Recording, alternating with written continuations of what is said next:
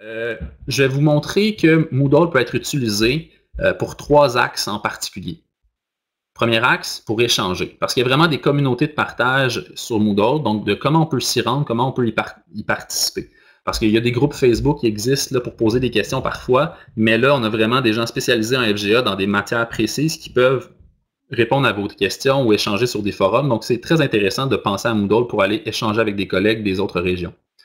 On va aussi voir comment, grâce à Moodle, on peut aller puiser des ressources. Donc, on va voir dans des cours qui sont déjà montés, parfois on peut trouver des activités qui nous intéressent, des documents qui nous intéressent. On peut ensuite communiquer avec les personnes qu'ils ont créées pour voir si on peut euh, les utiliser. Puis, euh, dans 98% des cas, les gens sont tout à fait d'accord. Puis, on va voir aussi comment on peut utiliser Moodle pour enseigner. Donc, comment on peut vraiment euh, créer un cours ou peut-être prendre un cours déjà existant puis l'adapter.